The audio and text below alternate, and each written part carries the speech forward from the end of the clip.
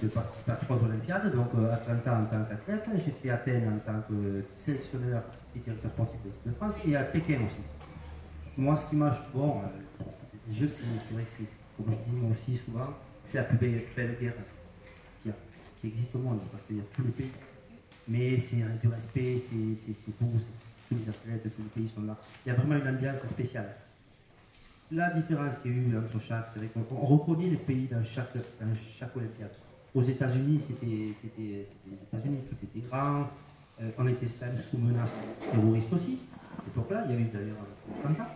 Euh, à Athènes, c'était terrible, je ne sais pas si tu te rappelles, au village de départ, on était fouillés plus qu'à l'aéroport. Les voitures dessous, oui, les forces spéciales qui fouillaient tout ça, machin, mais bon, c'est terrible. Bon, il n'y a pas Pékin, en Pékin en 2008, là c'était euh, en Chine, c'était bien carré.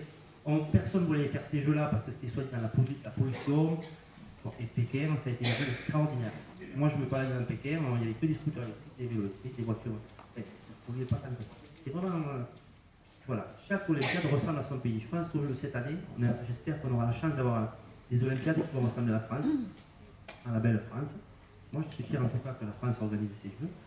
Et, voilà, bon, après, euh, les expériences, franchement, les Jeux, c'est vrai qu'on a tous ces athlètes.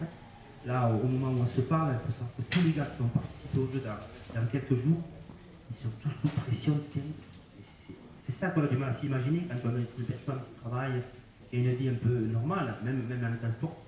Et ces sportifs de haut niveau qui vivent tous les jours pour ça. Se lèvent, pensent à ça, pensent à la épreuve qui aura lieu pour les Jeux.